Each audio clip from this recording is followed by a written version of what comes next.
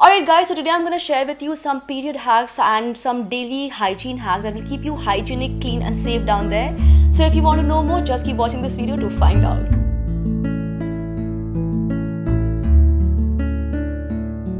Now I'm gonna start with the most scary, I think one of the most scary things that can happen down there, which is yeast infection. And trust me, it is so so common. So sometimes yeast infection can be very normal, it can go away on its own, and sometimes it can be very serious. Okay, so there's certain amount of bacteria, certain type and certain amount of bacteria which is good for you. However, if there is too much of this bacteria, too less of this bacteria, or another type of bacteria which enters your body, you start having infections. So in order to prevent any such imbalance, start consuming curd, dahi or yogurt start having uh, lassi buttermilk things like that. And if you don't like all this or if you just uh, live in a pg and can't manage all these things by yourself just start having probiotic pills. It's very very important especially for women especially during the period times periods uh, not just to prevent infections down there but to also help your digestive system. So if you end up with bloating and a lot of tummy problems, acidity problems during your periods, which is very, very common again, probiotics can help you with that also to a huge extent. Another food, uh, another thing that I want to recommend in terms of what you need to eat is uh, are things which are acidic in nature, okay? So a lot of um, a lot of uh, lime water lemon water. If you want you can also start having apple cider vinegar every every day in the morning. I've actually talked about this in a separate video. I'll share the link in the description box below. So apple cider vinegar lime water these things can actually make that area a little acidic. Uh, it also helps in preventing urinary tract infections, which is UTI, and again, very, very common for women. So, apple cider vinegar every single morning can help you with all that. Apart from that, also detoxify your body, improve metabolism for weight loss, and things like that. So, I share the video link in the, in the description box below if you want to know more. And if you don't want to have apple cider vinegar because it's a little tangy in taste, you can actually add it to your salads, to your food, or you can start having apple cider vinegar capsules. Guys, uh, in case you're wondering why is every product from Wow, it's just that these few products from Wow, maybe one or two more, but I have a lot of brands to talk about today, a lot of recommendations. You can use whatever you want. I'm just sharing what I have because this is what I use. Okay, you can use whatever you want, and I'm actually talking about a lot of things today. So, talking about the next thing, guys, uh, see, obviously, a lot of girls are very scared of going to gynecologists and sometimes it's a little embarrassing sometimes you don't have that kind of relationship with your mother or sister and uh, you are very hesitant in seeing a gynecologist. So completely understandable. It's a very common problem even today in India, unfortunately. Uh, but that is true. Okay. So if you can't go to a gynecologist, you can actually meet a gynecologist online also. There are so many apps, There are so many services online where you can find gynecologists online. Sometimes you can also find these apps which can help you track your periods by the way. So if you keep forgetting your periods, just download one of these apps, guys, okay? To track your periods or if you're planning to get pregnant, even then these apps can come in very, very handy. Uh, so this is a medicine which uh, uh which this is something which uh, is very very useful if you end up with a lot of vaginal infections. And uh, very important since a lot of girls don't know this the vaginal discharge that you get on a day to day regular basis it should not be white or heavy or smelly okay? It should be transparent. It should uh, not have any smell. And it, it should not be happening too much okay? If your body needs to clean itself so much that means there's something wrong. So see a doctor in those cases. This is a medicine which is very very handy. You can get this online not online but uh, it's available over the counter. You can even use medical apps to actually get this delivered to your home. It's called cansoft cl these are uh, suppositories. So this is not something which you consume with your mouth. This uh, this is basically a medicine which you uh, put inside your vagina usually at night when you go off to sleep and uh, so that you know your body is lying flat. You don't want to be standing up after using this for a few hours. So use it just before going off to sleep at night after recommending recommendation from your doctor of course. And this can really help in preventing vaginal infections or dealing with regular yeast and bacterial infections. So that was a very big segment on infections but i really want to talk about it because i know a lot of girls don't have anyone to speak to and it's very important. And going back to period hacks guys please please please invest in at least two or three of these period panties. These actually have um, double lining and you know it's uh, a slightly uh, thick fabric but it's cotton fabric. And i know like a lot of my friends say Prachi cotton is like so not sexy and so old school. I know but cotton is what your body needs because it's breathable it's light and at least during your periods you need to use these kind of panties because it also you know like keeps your skin uh, fresh and clean you know like you don't want to sweat down there too much. And in case you can't buy because again you're uncomfortable talking to your mom about it if you're really young and whatever at least make sure that the panties you're using are not very dark in color most girls make this mistake of wearing black colored panties or red colored panties but what happens is that in that case you can't see the period blood stain and then you can't tell if there's an extra leakage on the side. Sometimes the napkin just shifts around and uh, there's a leakage and you can't even tell. So you should be able to see some leakage. I'm not saying you wear white color panties but wear something where you can see the stain like a blue color panty light brown color panty which will be easier to wash also and you'll be able to see the stains okay? Um, another period hack which i want to share it's uh, again uh, very very important honestly. Keep changing your napkins okay? And uh, i once uh, had somebody over and this girl she hadn't changed her napkin in two days. We could tell because you know with the frequency and everything like it's easy to tell when somebody's living with you and uh, guys you should not do that because not only is it extremely unhygienic there are some reports it's not a proven thing let me be very honest but there are some reports which say that if you don't change your napkin for a very very long time in the long run it can actually lead to cancer also down there okay? And uh, that's something very important. And if you don't want to waste your expensive napkin because you haven't bled much so you know for the days when you don't have excessive bleeding like maybe fourth day and fifth day just invest in some of these not so expensive napkins for those days. Or if you want you can use a little bit of cotton underneath it if it shrinks or shifts too much. So for those days you can keep a separate set of napkins. And for the other days when you bleed excessively you can keep a separate set of napkins. And just in that case i just want to quickly mention that this is a napkin which i find very very comfortable because not only is it super soft but it's also biodegradable I mean, there is a little bit of an issue with that, but mostly it's a biodegradable and it has a reduced plastic. So it's much better than some of the other napkins out there. And for the night time, uh, there's this another napkin from Kotex, overnight panties. This is something you can use if you bleed way too much during the night time okay? So these are some very important uh, options that you can explore. But keep changing your napkins every few hours because it's very very important for your hygiene. And if you're using tampons it's very very important to change again because there can be a toxic shock syndrome and there have been deaths because of toxic shock, shock syndrome. Having said that personally i would still recommend using menstrual cups again i've done a separate video on this. When i was using a menstrual cup for the first time i just shared my experience as to how it felt. It was a little scary but honestly now i have gotten so used to menstrual cups personally this is what i use okay? And um, menstrual cups are like such amazing things to use because first of all environmental friendly and secondly once you get used to it it may take some time. For me i got used to it very quickly but it may take some time for other women. But uh, the best thing about menstrual cup is that you know you you actually forget that you're having periods. It's so handy and so useful, and one menstrual cup will last you for a very, very long time. Cleaning it up is also very easy, it's very hygienic actually. So, yeah, whatever works for you.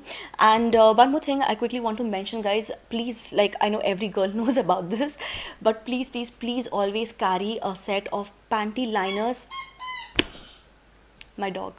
Lyra, not now, baby. Good, sit down. So uh, always uh, carry panty liners. For those of you who don't know about panty liners, panty liners are things which you use when you're suspecting that your periods might start today, but you're not sure. It can start tomorrow or day after tomorrow also. So you don't want to use a sanitary napkin.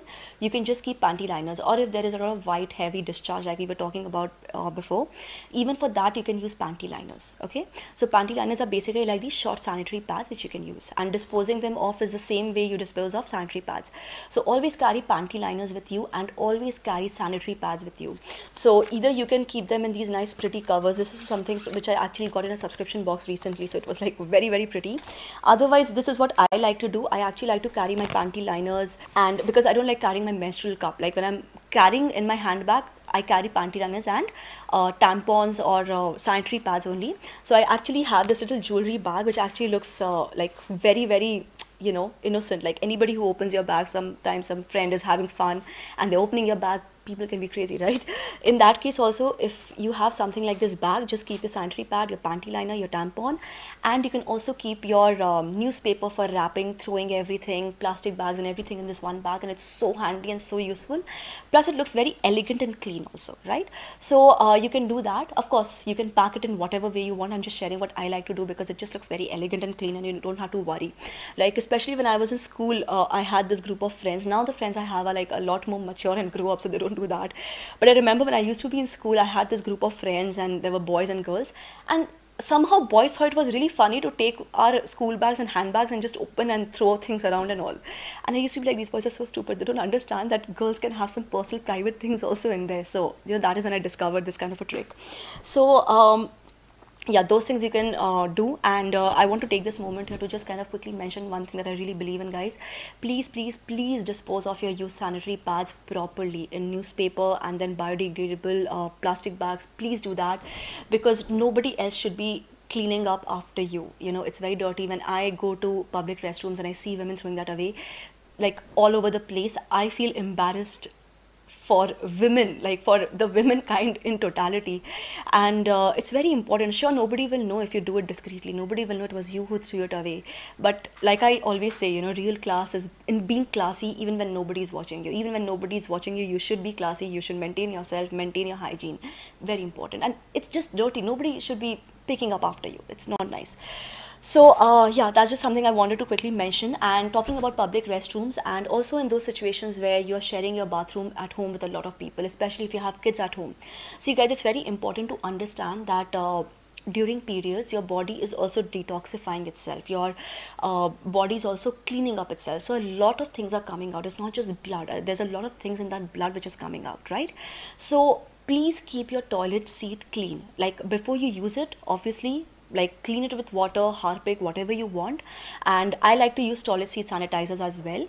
And uh, of course while traveling also they are very handy. And after you're done after you're done uh, using the toilet please use a sanitizer spray or just whatever you're using to clean up the toilet again. Because nobody else in your family should be sitting on dirty seat either. They can all also get infected especially if you have really young kids at home.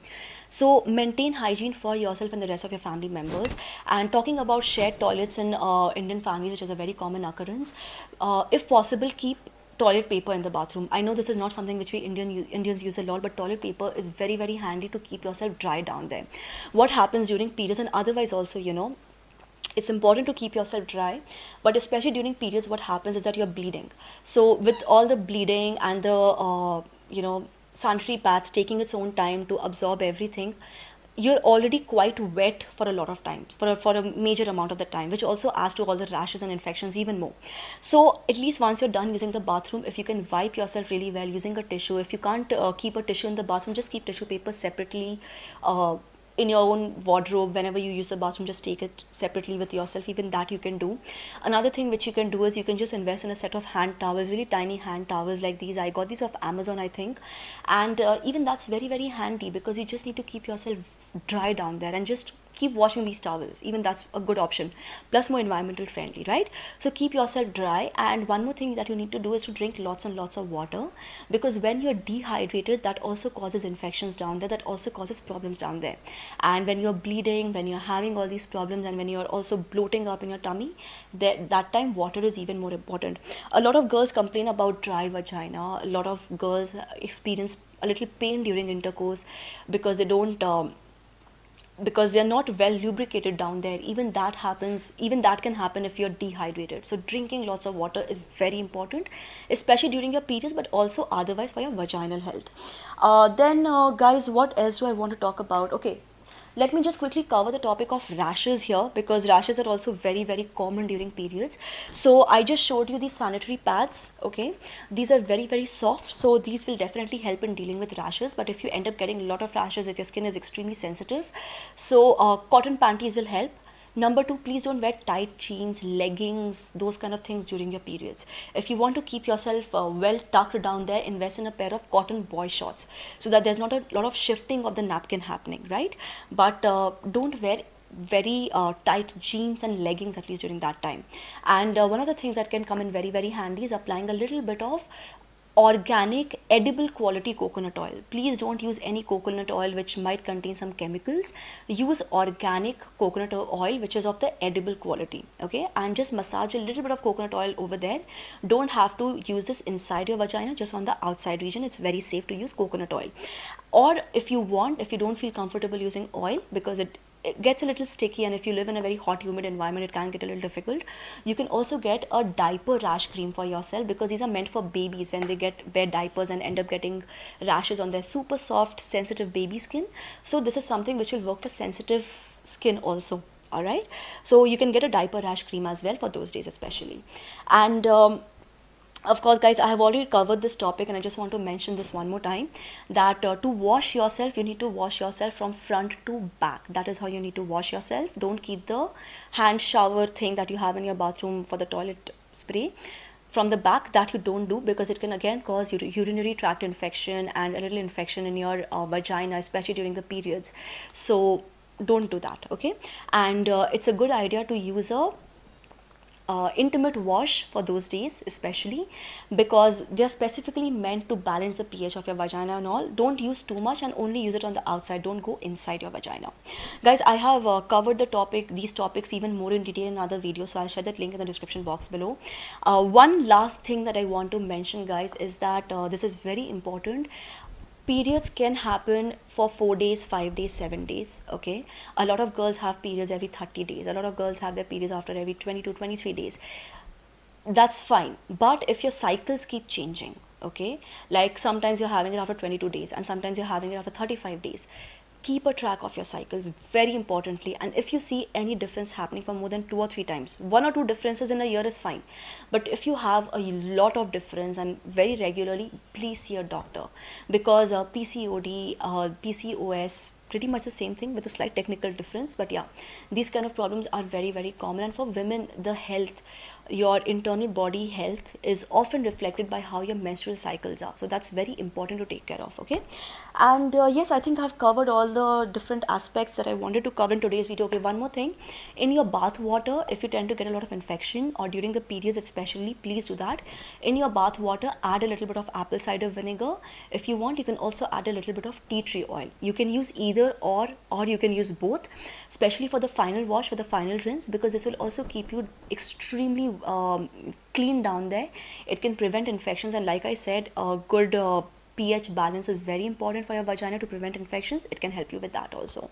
So yes, let me just check one more time if I have missed out on anything because there were so many points to discuss and uh, yes these were all the period hacks and hygiene hacks that i wanted to share. If you have questions like should i trim the hair down there? and things like that i will share another video link in the description box below where i have covered those topics even in more detail and some of the other topics also. And yes if you have any hacks any details any important thing that you want to share with all the girls please share them in the comment section below.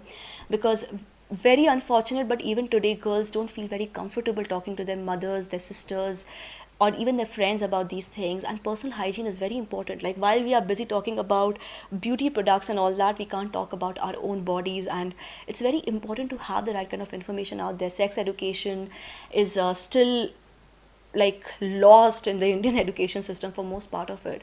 So how will the girls really know what's right for them and what's important and what should be done, right? So yeah, please share your hacks, share. Sorry guys, the camera went off. Apparently even my camera thinks that the video is turning really, really long. So yeah, just was about to end it anyway. So thank you so much for watching this video.